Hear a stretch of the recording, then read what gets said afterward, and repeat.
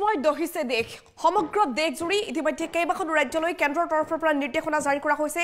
গ্ৰীষ্ম প্ৰৱাহৰ ফলত বহু লোকৰ মৃত্যু হৈছে। নবী মুম্বাইত শেহতীয়াকৈ অনুষ্ঠিত হোৱা এখন পুৰস্কাৰ বিতৰণী সভাত অমিত শ্বাহ য'ত উপস্থিত আছিল সেই সভাখনত তেৰজনকৈ লোকে প্ৰাণ হেৰুৱাব লগা হৈছে আৰু ইয়াৰ পাছতে কেন্দ্ৰৰ তৰফৰ পৰা কেইবাখনো ৰাজ্যলৈ নিৰ্দেশনা জাৰি কৰা হৈছে। বন্ধ কৰিবলৈ নিৰ্দেশ দিয়া হৈছে বিদ্যালয়সমূহ। বহু বিদ্যালয় আৰু প্ৰতিষ্ঠান বন্ধ ৰখাৰ বাবে কেন্দ্ৰই নিৰ্দেশ প্ৰদান কৰিছে আৰু ত্ৰিপুৰাত শেহতীয়াকৈ নিৰ্দেশনা দিয়া হৈছে বন্ধ কৰিবলৈ বিদ্যালয়সমূহ। প্ৰচণ্ড গৰমৰ বাবে ত্ৰিপুৰাত এতিয়া এসপ্তাহলৈ বন্ধ থাকিব বিদ্যালয়। মানিক চাহাই ইতিমধ্যে এই সন্দৰ্ভত টুইট কৰিছে। টুইটযোগে জনাইছে যে বিদ্যালয়সমূহ বন্ধ কৰি ৰখা হ'ব। কণ কণ শিশুসকলক যাতে বিদ্যালয়লৈ নপঠায় ত্ৰিপুৰাৰ মুখ্যমন্ত্ৰী মানিক চাহাই টুইটযোগে প্ৰকাশ কৰিছে যে বন্ধ ৰাখিব লাগিব কেইদিনমানৰ বাবে বিদ্যালয়সমূহ।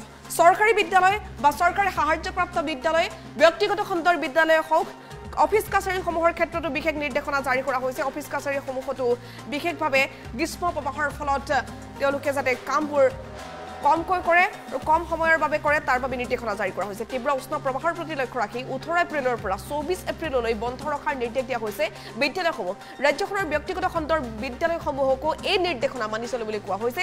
চৰকাৰী আহ্বান কেৱল চৰকাৰৰ চৰকাৰী বিদ্যালয়সমূহে যে মানিব লাগিব তেনে নহয় ব্যক্তিগত খণ্ডৰ বিদ্যালয়সমূহেও যাতে এই নিৰ্দেশনা মানি চলে।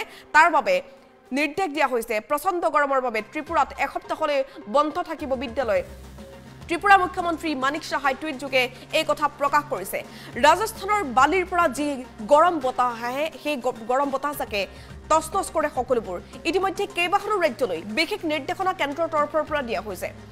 প্ৰায় ছখনকৈ অধিক ৰাজ্যৰ বাবে এই নিৰ্দেশনা জাৰি কৰা হৈছে আৰু শেহতীয়াকৈ ত্ৰিপুৰাত এই নিৰ্দেশনা মানি চলিবলৈ কোৱা হৈছে। আমি দেখুৱাইছোঁ এই মুহূৰ্তত বিশেষ টুইট মানিক চাহাই এইদৰে টুইট কৰিছে। গ্ৰীষ্ম প্ৰৱাহৰ প্ৰতি লক্ষ্য ৰাখি ওঠৰ এপ্ৰিলৰ পৰা তেইছ এপ্ৰিল পৰ্যন্ত সকলোবোৰ বিদ্যালয় বন্ধ ৰখাৰ বাবে টুইট কৰিছে। ত্ৰিপুৰা মুখ্যমন্ত্ৰী মানিক চাহাই। ত্ৰিপুৰাৰ সকলো চৰকাৰী আৰু চৰকাৰী সাহায্যপ্ৰাপ্ত বিদ্যালয় বন্ধ ৰাখিব লাগিব। সমান্তৰালকৈ ব্যক্তিগত খণ্ডৰ বিদ্যালয়সমূহো যাতে বন্ধ ৰাখে তাৰ বাবে নিৰ্দেশনা জাৰি কৰা হৈছে। কেন্দ্ৰৰ তৰফৰ পৰা নিৰ্দেশ দিয়া হৈছে কেইবাখনো ৰাজ্যৰ বাবে যে গ্ৰীষ্ম প্ৰৱাহৰ ফলত যিহেতু বহু লোক ৰোগাক্ৰান্ত হ'বলগীয়া হৈছে এই সময়ছোৱাত কণ কণ শিশুসকলক যাতে বিদ্যালয়লৈ নপঠায় বিদ্যালয়সমূহ বন্ধ ৰখাৰ বাবে নিৰ্দেশ প্ৰদান কৰা হৈছে।